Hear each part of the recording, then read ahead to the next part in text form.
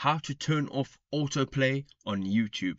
Good day, ladies and gentlemen. Welcome to the channel. If you're watching a video and um, you will then have sort of like a recommended playlist that each video thereafter will start to um, autoplay after your initial one. You can go ahead and you can either turn that on or you can turn that off. So I'm going to show you exactly how to do that. So the first thing you want to do is you're going to have to jump into a video and this is what it will look like on your desktop. It is slightly different on your mobile device but the concept is more or less the same. Now if you go down over here to the bottom of your video you will see a little slider that looks like a play button.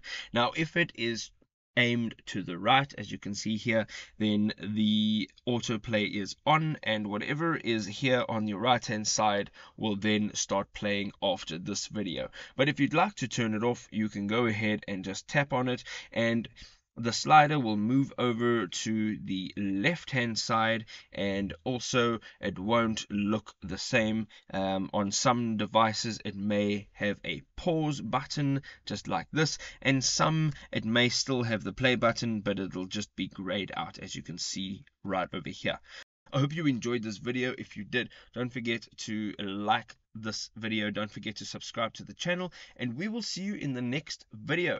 Cheers for now.